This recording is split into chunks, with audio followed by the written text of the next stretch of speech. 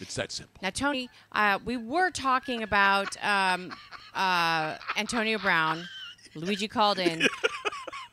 if the Raiders Yes. wanted to get rid of him, I have somebody that they need to sign right away. They could probably get him really cheap. Who do you have? Did you see this video of Oh this? yes, I agree. You want to talk about great hands? You want to talk about you know FredEx used to say my hands have been very good to me. Freddie Mitchell, the people's champion with the big championship Mm-hmm. uh, belt that he wore. I mean, we see- have a new guy who the Yes. Raiders should sign immediately. I mean, talk about fantastic freaking hands at any speed. Not Galamad, by the way. That's different. That's uh, that's uh, Squid. We have the who the Raiders are now looking Yes. at. As you know, Mike Mayock, the general manager, likes to break down tape. I mean, He did it better Yeah. than anybody. When you when you t- there was Mel Kiper and then there was Mike I Mayock. mean, look at the baseball dude that got signed because he Yeah. made a videotape. This guy needs to be signed immediately. Let's go to the tape. We have the Raiders' new starting wide receiver from Monday Night Football at the Oakland Alameda County Coliseum, whatever they call it right now. I guess it's still the uh, Oracle. Let's go to this man who's do, who does what I love to do. Now just keep watching. Do, you guys don't understand what we're talking about here. You have to watch the entire video, and then we'll we'll it looks like a roller coaster Yeah. ride to me. And here they go. They have a GoPro in front. We never do enough GoPro stuff. Keep watching. He's doing the loop, doing the loop. Right there. Oh, what a grab! A cell phone flies out.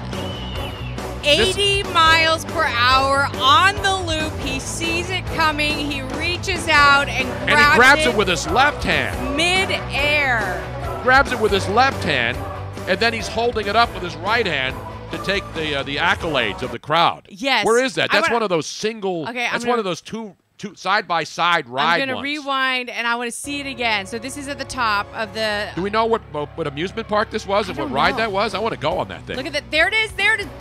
oh. God, that's Now, did amazing. it, where did it fall out of? Was it, It his was- friends? it was from somebody behind him because he's looking behind him to to acknowledge, hey, I got it. How does something from behind you? Because he was doing the loop. So they were on a loop, and somehow or another it fell. So when he he reached it, Does it say where that amusement park is? I know it could be a Six Flags. It could be anything. I don't think it was in Jersey, but it may have been. There's I good don't coasters know. there. But sign that guy. It was awesome. The Raiders are going to pass on that dude. The dude reaches up with his left hand, so he's he's amphibious. So he reaches up with his left hand, grabs it, and then passes it over to the right hand. Amphibious. It's an old joke, Robin. I think uh, is it Great Adventure, Six Flags Great Adventure in New Jersey? Let me see if I can find it. It actually doesn't say on the article that it Could I be found. one of 500 amusement parks that all have great coasters like that in this country. Could be Cedar Point. Could be Six Flags. You know, I know where it isn't. It isn't Magic Mountain in California because I'd recognize that immediately. You know, because you got the mountains in the background. It looked like it could be Jersey or Cincinnati or one of those other great amusement parks. How are you going to say no catch? Did he make a football move when he caught it? Now, here's we'll have to go to instant says- replay again, Robin. Here's a guy. Here's an article that says Kiwi man catches flying phone on roller So that was in Australia or that was Let in. New Zealand? Oh, I, I, I got it. I got it here. Here. So this is. We have an update. This is an update. This uh, a Timaru New Zealand man named Samuel Kemp was in Europe representing New Zealand in the fist balling world championships in Switzerland. Fist balling. What the hell is Is that- that? I saw that on Pornhub the other night. Fist balling. I have Fist, never, Pfister? That's a hotel in Milwaukee, for God's sake. I have never heard of such a thing. What the hell is fist balling? Anyway, beside the point. After the championships, Kemp took a holiday and headed to Barcelona, where he visited a theme park and got the best holiday footage ever, showing him on a roller coaster catching the phone flying through air at 134 kilo- kilometers per hour, which is approximately 80, 80 miles per hour. Uh, the footage. I'm of- so, wait a minute. yeah, I know. Fist Uh, now balling. I'm now I'm distracted. What the hell is fist, Fist balling? balling. Is that what the guy did at Burning Man with his girlfriend who was a DJ? Did you see that video? Did you see the video? It was a famous DJ, and he had his girlfriend. You know they could do freaky stuff at Burning Man Right, out in right, the right. desert. and the dude was uh, from behind. Let me just say, I mean, we can't. I don't think we could play the video. Uh, doubtful. And now the guy admits that he shouldn't have done that. He had his girlfriend up on top of something, and let's just say she was not facing him. And she then was he on did, all fours. Yes, but she was she was uh, she was above on something. She was like on a table or something. Okay, Or in laying a car. on her stomach. No, she wasn't laying on her stomach. She was on her knees. All right. and then he came up from behind her and did something. And it was high enough that it wasn't what you would think it is, it was something else. You following me right now? I don't know. I don't know if I want to. But uh, here's here's a a. Was that it was is there a fit, best fist ball at the AVN awards that I missed? Hold on, let me find out what fistballing is before because you Now, not- when I was a kid, we used to play handball, but not the kind you see in the gyms. You know, we play handball. We get a pimple ball, so when you couldn't use, when you didn't have a, a broom handle or stick, This and you is- wanted to, you, what would you you like do is, know what can I just explain what we used, what I would call Okay. fist ball if I were going to describe what we did here in, in the streets and in the cities? You get a pimple ball, the same one we would cut in half to play Right, half right. ball, where somebody has a broom handle on one side, and then you pitch the half ball up in the air so it lands in there, and then you slap that thing, and it goes against the wall of the house across the street. And if it's above a certain window level, it's a single. Then if you hit it on the roof, then some schmuck's got to go up there and get the balls off the roof later in the day. That's what we called half ball. The other thing we'd have, we would play, we would just call it handball. But you really were using a fist. So you would close your palm, and then somebody would do a one bounce ball, and then you would swing and hit it with your fist. Is that the same type no, of fist ball we're talking about? not at all. Apparently, fistballing. It's not like pocket pool, right? Uh no. Let me tell you what fistballing is. Oh, we have a fist ball update later. See what you learn on this show? It, this is something, and, he, and I'm from Europe, and I've never even heard of this thing. I have no clue what fistballing is. Is it like Aussie rules football at all? Not at all. Is it like a. Kiwi? It's a Kiwi sport, obviously. No, right? it's a European sport that I have never in my life heard of. Fistballing is a sport of European origin. It is similar to volleyball in that players try to hit a ball over a net. I have a photograph up there. Okay. You can see it. Uh, the current men's fistball world champion is Germany, winners of both the 2015 men's world championship and the fistball category at the 2017 World Games. Not foosball. That's different. No, this is fistball. So instead of using a racket, and instead of doing it with It's a like big, the- it's not a big like it's not like a big uh, volleyball itself, which is soft and you know you can punch it up and you can use both hands. It's kind of like it looks a little bit like video? a soccer ball. I want to see video. I want to see see how the size video. of the ball. Well, you can see the ball right there. It's it's it's a The little ball bit looks amazing, as uh, Ryan Seacrest once said. The ball looks a little bit Yes. a little bit smaller than a soccer ball, maybe.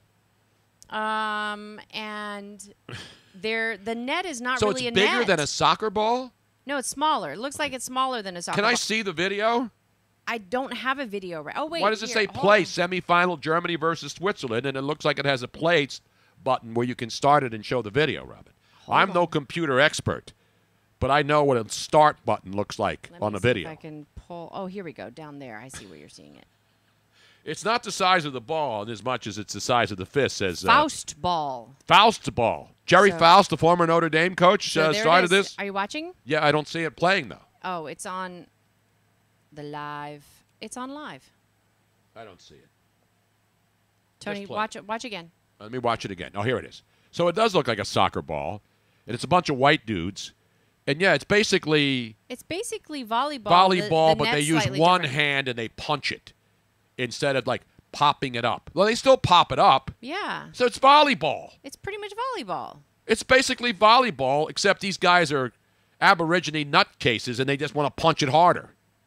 So I guess you're only allowed to use one hand after the serve. So let me watch the serve again. So he pops it up with one hand on the serve and he punches it.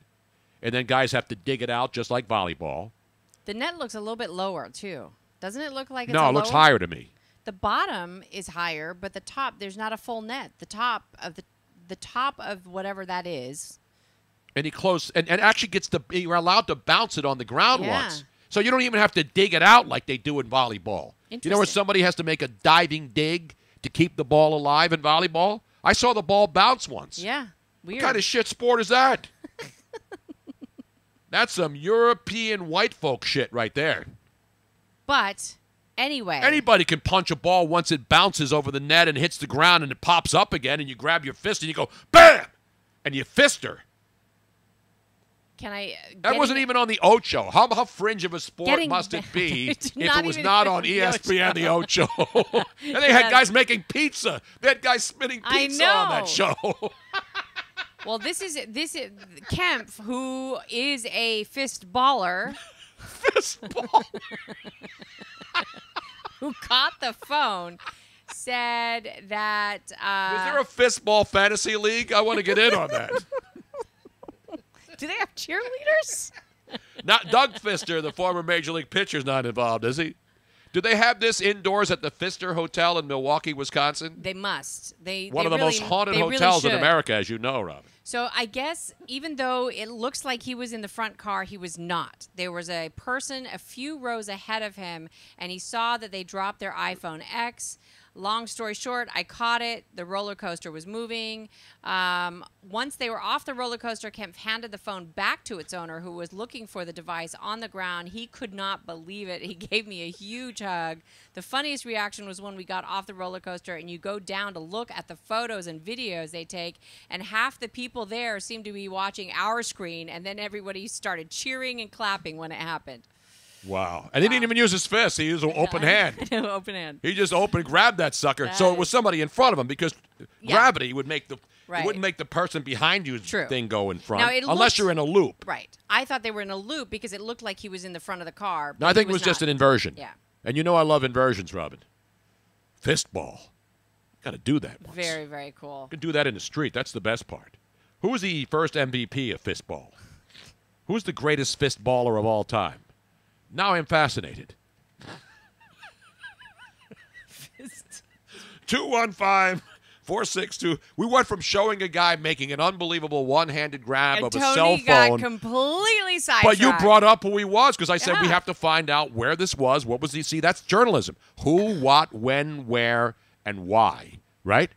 Now, did you And how? hear? This is is, a this is very interesting, Tony. This was a noble pastime for nobles and gentry in 1786. Johann Wolfgang Goethe, who is a philosopher, No, no relation to Wolfgang Puck. No. Did he make a nice little sandwich, panini, and have it like at And fast you food should know? Yeah. because apparently this was a huge thing in Italy. Mentioned fistball games between four noblemen from Verona and four Venetians in an Italian journey. Apparently, Italians are very, very good at fistballing, Tony. Mister, that's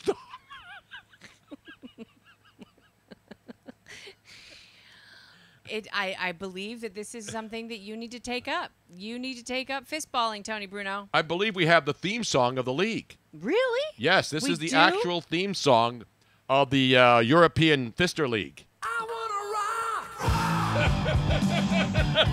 That's Twisted Fister, Robin. Come on.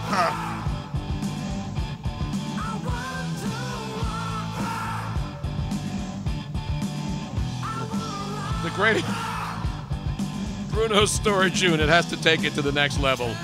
The greatest fist baller of all time, of course, the great Ava Adams, or my personal friend Brianna Banks. Tony Bruno on Wikipedia. The number one notable player in fistballing. You are gonna love this. His name is this Bruno, this- what? It's no, got to be Bruno. Oh, No, no, Bruno. No. Hold on. Let me make, make sure I'm pronouncing this correctly. Dirk. Dirk Yafisky. Hold, wait, wait, wait, wait. Dirk it's taking me a second. Hold on, hold on. Dirk Schachtik. Schacht. What? Schachtik. Is he German? How do you you, you speak German, Robin? How do you not know how to Yeah, pronounce it? Yeah, but this it? is even more complicated than normal. Schachtsik. I thought it was Schachtsak. Schachtsak. There it is. Dirk Schachtsak. Sounds like soft sack. Is there a not. Fister Hall of Fame? Fist baller Hall of Fame? This is a beautiful thing. Ladies and gentlemen, see what we've done for you. We have given you a whole new sport that nobody has known about. And I get to play some Twisted Sister, too. And, and it's dominated by West Germany, Brazil, and Austria. Dirk Nowitzki.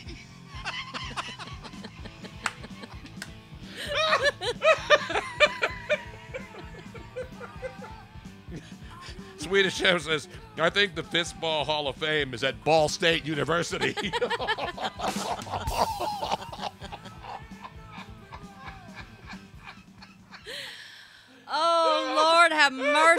oh, oh, man. On that note, shall we continue with the show, or are we totally derailed? Wow.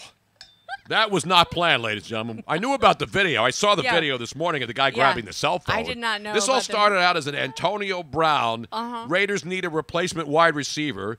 Find a video of a guy who grabs his cell phone from midair at 80 miles an hour on a roller coaster in Bar. Was it in Barcelona again, Robin? Yes. in Barcelona, so it wasn't Six Flags. Nope. We cleared that up. And then we find out he was from New Zealand and part of a fistball team that was visiting Barcelona, Spain. I mean, just saying it, just saying it. How would you say, like, hey, what do you do? Uh, I'm a world champion fistballer. I've been working on cornhole the whole time and didn't realize fisting was much better. If I had known about fistball, I would have started my own American Fistball League. Screw cornhole. That sounds fun, but it's not. Fistballing sounds so much better. what do you do for a living, sir? I'm a professional fistballer, Bo. You know what I'm saying? Would you like to come over and fistball tonight? Well, Who do you think the sponsors of fistballing would be, Tony? Come over and fistball by we while we sling tonight. You know, you have a sling Yes, party, you have yes. a sling box at home. Who who would be the donor, the, the sponsors? Fistballing brought to you by KY Jelly. Oh my god. Oh, oh, oh. Fistballing brought to you by.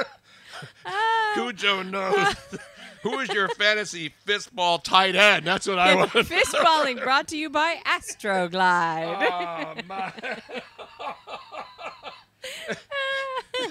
From Valley Forge. Does Tall Man Joe's have a fistballing room? D. Conrad Vegas goes, I'm a baller, dude.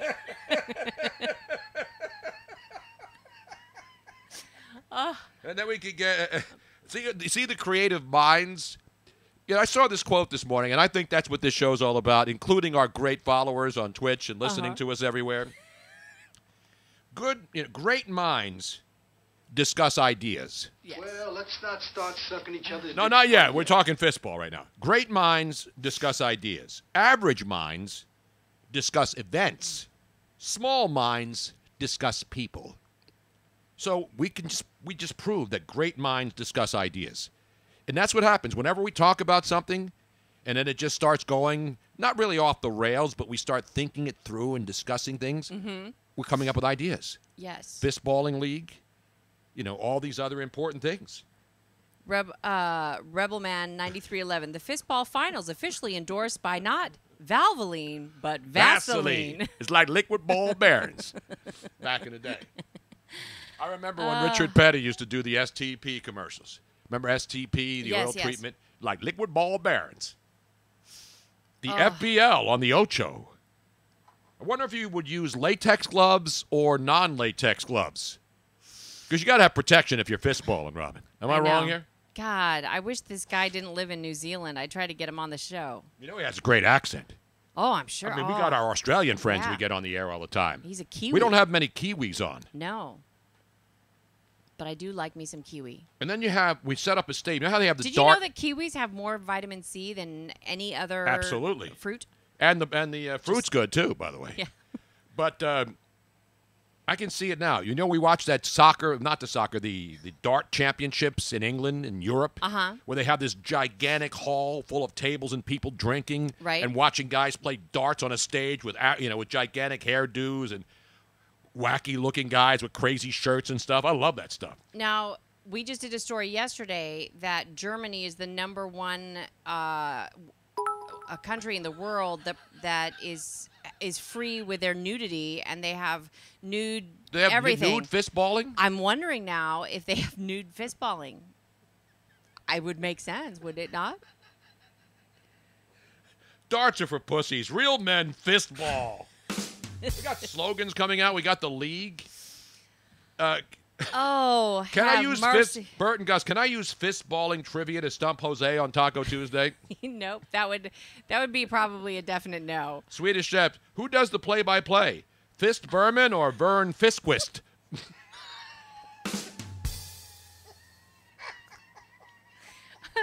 God.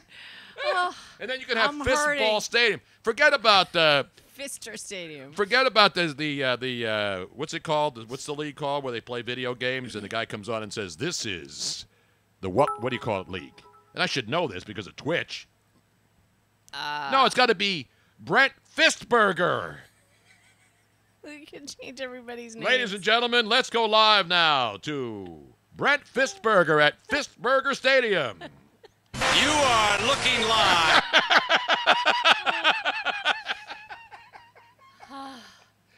Oh, and of the course, the first expansion team, the Philadelphia Fist Fighters, spelled P H I S T P H I G H T E R, an Oh, esports God. arena. esports. No, but the- it's got a name. There's an esports arena they're building down there here Yeah, in South Philly, right near the sports complex. It's gonna be big. No, the guy comes on. He says, "Let's uh, get ready for not to rumble." That's boxing. The dude that does the, it's a league. yeah. I'm dying. The first Fistball Hall of Fame in- inductee, ladies and gentlemen, Mr. Phil McCracken. You get it, Robin? Phil McCracken. I get it. I Not get Barry McCockiner. That's a different guy. The Winnipeg Fisting Moose. Just think of the merchandising. I know. Just think of the ideas and all the things you can do when it comes to fistball league action. Okay. This is poorly marketed. This is I- like the this is like the Pac-12. even if we They brought in a guy from the Tennis Channel to run the Pac-12. even if we do not uh, actually start a league, we need to have at least league T-shirts. The Bruno Fistballing League. Mascots, yes. Who- I who- mean, it's it's just Who wants a Bruno Fistballing League? the- Let's the- show the- a raise. Uh, the show possibilities now. I mean, this league pretty much invents itself. I mean, look at all the ideas already in just 10 minutes of deep thinking and great minds coming up with great ideas. It's good stuff, man. I may have to get the website. Forget about AFL, which is ah. gone. Oh, now, oh, oh, by the way,